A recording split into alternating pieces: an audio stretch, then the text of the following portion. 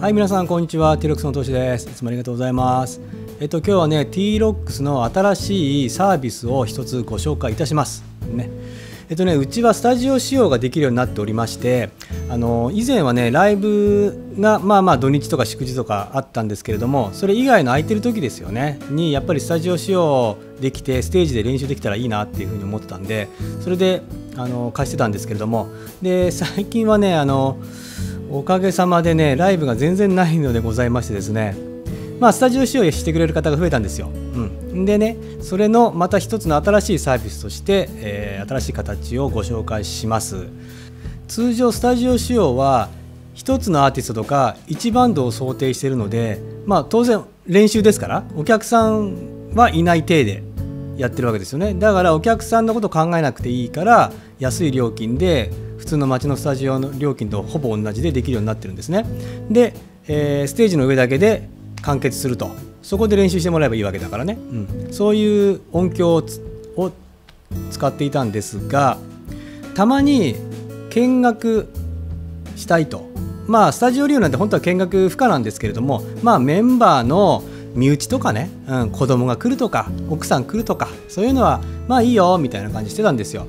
あの友達がいっぱい来てライブやるわけじゃないから。それはダメにしてたんですね。ライブとスタジオはまた全然違うということで、うん、だけど身内の人が1人や2人来るのはまあいいよと。まあ本当は本来はメンバーだけだよだよって言ってるけれどもね。でちょっと今コロナなんでのこのちょっと感染防止対策があるからあんまりこう大っぴらにいいよって言えないんですけれども、うん、でもまあまあそういうことだったんですね、うん、でそれでね、あのー、全然こっちは構わないんだけど見てる人って練習見てるんだけどあのー、て言うんですかね。あのステージの中でモニターが動いてるわけですね。でボーカルがステージの中にこう聞こえてるわけ。だから練習には全然問題なく練習できるんだけど見てる方こっち側ですね。客席側の人にはあの楽器の音はやっぱりあのアンプがあってこっち向いてるから聞こえてくるんだけどドラムなんかも聞こえてくるんだけどボーカルの声っていうのはステージの中のモニターでステージの中にしか向いてないからやっぱり聞こえないわけ。でもさっき言ったみたいにここにいる人を想定して全然やってないからね。もうそれはもう我慢してくださいって言うしかなかったの。もうあのライブじゃないんで私そのそれには全く関与しておりませんって話ですよね、う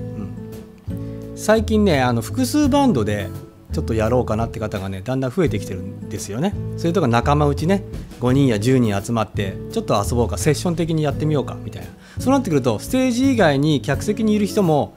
いたりするわけですよね。でその人たちにもあのちょっとちゃんとボーカルに聞こえるようにしようかなって思って、うん、でそうするとあとはねもうライブをやってもらうしかないんですよ。ライブになったら、えー、PA システムを稼働させてボーカルとか各楽器の音もバランスとって外へちゃんと出してお客さんに気持ちよく聴いてもらえるようにするっていうのが僕の仕事ですからそれをやることになっちゃうんだけどそうなってくるとえっとまあ、3時間で3万5000円からやってるんですけれども、まあ、それでも安いんだけど4時間でも4万5000円とかなんだけどもね貸し切りだとね。でそういう風な値段になっちゃうわけ。でもスタジオ料金だと,、えーと、パック料金がなるからいくらだ、えーと、9000とか。そんなもんなんですよ、うん、でそうなるわけ。だけどもお客さんは想定してないからフロア側にはあんまりいい音では聞こえないわけね。練習だから当然。でそれをちょっとどうしようかなと思って最近さっきも言ったみたいにちょっと増えてきたので見学的な人がいるっていうパターン。あるいは2バンド3バンドあればあの練習してないバンドはこっちにいるわけだからね。増えてきたからそれもちょっと考えようかなと思ったんでこのサービスをしてみました。で、えー、詳しいことはあの下に貼っときますけれども1時間プラス2500円いただきます。でその代わりですね PA 的にはボーカルのみを PA で動かします。PA のあボーカルのみ PA に乗せます。あとのドラムとかギターとかベースっていうのはアンプから出た音でなんとかなるんで自分で調整してください。でそこであの正直ね人件費かかんないからこれをちゃんとやるとなると人件費かかるんですよ。自分以外に人がいないといけないから。でその辺をちょっとかけないのでその分安くしますからそれでやっていただければ、えー、客席にいる人は最低限こうボーカルが聞こえてくる歌が聞こえてくるとねまあなんかいいですよね。そういう形でねやりたいと思います。そして一応、えー、ちょっとライブっぽくやっぱせっかくですからねした方が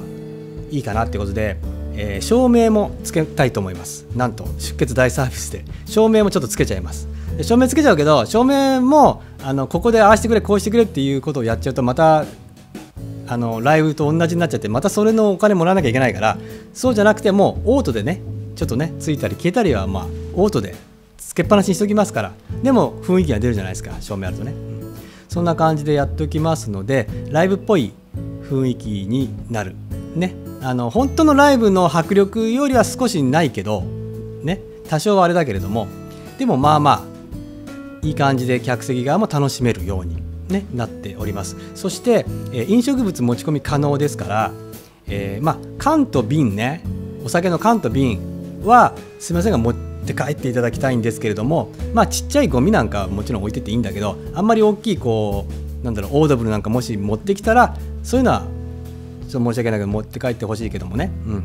でもそれでよければ、えー、持ち込み OK ですから。普通のライブの時ってうちもドリンク代で設けないといけないんで持ち込み不可にしてるんですけれどもこのスタジオライブ仕様の時はもう OK にしますからそしたら自分で好きなの買ってくれば安くね飲めるし。まあうちでももちろん販売してるんでビールくださいって言えばビールちゃんと出しますからそれはそれでありがたいんですけれども全部持ち込んで大丈夫ですからうん。えー、やってもらえると楽しいかなと。そういうサービスを始めましたのでぜひね使ってください。えっと、5人やね10人ね数人でねあの4時間とか5時間とかね借りてもね、えっと、1万9000とかなんかそのぐらいだと思うんで、えー、みんなで割れば、ね、2000円とかでできちゃうと思うんでねあの楽しいと思うんですよね。セッション的な感じでもいいしね。みんなでワイワイ言いながら飲みながら半分飲みながらみたいな。やっていただければいいかなと。ねえー、ただね、えっと、設定の方は一番初めに、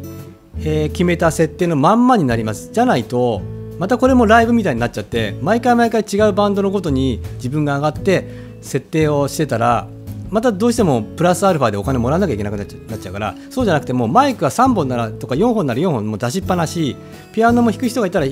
あの出しっぱなしみたいなでえー、ボーカルの返しなんかもそのまんま人によって普通は変えたりするじゃないですか。でもそれもなし。こっちからギター返してくれとかなんとかっていうのも初めに決めたらもうそのまんま固定のまんま。まあ多分大体あのアンプの音のみで OK なんだけれどもねうちはね、うん、そうなってるけれども。でもそういうのもあの細かい指定は後からできないけれども初めにやってもらえばそのまんま置いとくから。あとはもう変わるがあるステージ上がってやってもらうみたいな。ね、いいかなと思うんでね。それもきっと楽しいと思うので、うん、ぜひそれでね利用していただければと本当思います。はいそんな感じです。よろしくお願いします。お気軽にお問い合わせねください。メールで電話でも大丈夫だけども繋がんなかったらもうメールで何でも聞いてください。はい土日祝空いております。平日も空いております。ねよろしくお願いいたします。